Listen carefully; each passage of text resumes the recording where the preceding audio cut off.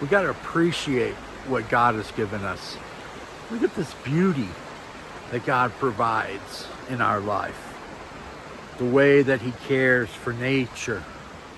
The way that he cares for the birds and the trees and the rivers. And we wonder and we cry out, why don't you see me? God does see you. God does see me. You see, ladies and gentlemen, we got to appreciate what God does for ourselves and for our surroundings. We got to care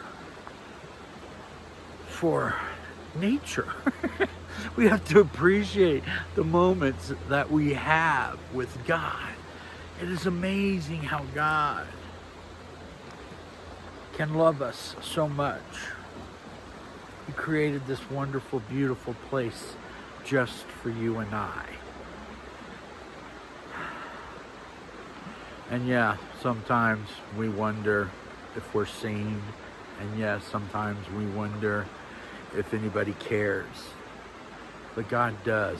If He would make all this beauty, all this beauty for each of us to appreciate, to love, to come to, to visit, to, to walk through, to exercise in.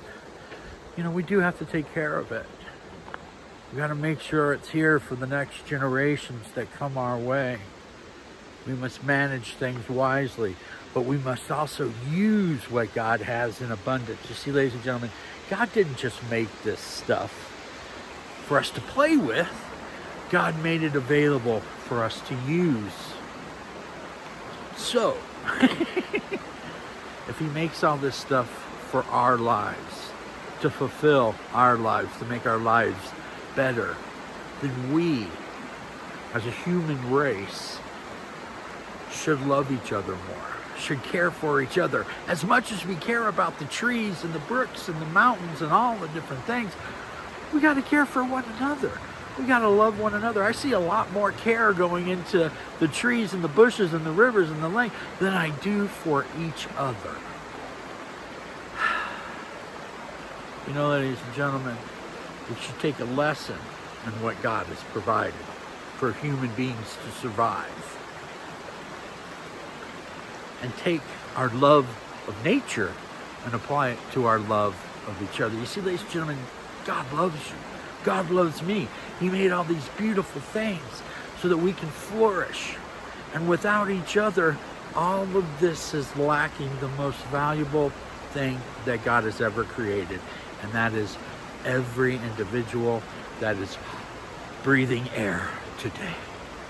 Every individual that can walk around, every individual that can appreciate what God has done. We must love each other. It's great to just love nature. That's a good thing. But you can't just love nature. You must include man and woman in it too. No matter the skin color, no matter the race, no matter the political belief, no matter the vaccine, you know, if they're vaccinated or not. We can't apply those things to God's commandment that we must love each other. So, ladies and gentlemen, I pray that as you get out, wherever you are in the world, I just happen to be here in the Rocky Mountains today to appreciate the beauty that is around us, that you appreciate your neighbor next door, that you appreciate the guy across the street, that you appreciate your family as much as you do the beauty that is God's creation. I love you. I pray this helped you in some way. You see, ladies and gentlemen, we apply so much to the beauty of nature that we don't even apply to the beauty of our fellow man and woman. Amen. Let's get those priorities right. I love you. God bless you. Have a blessed day and get out. Take a walk today. I love you. Bye bye.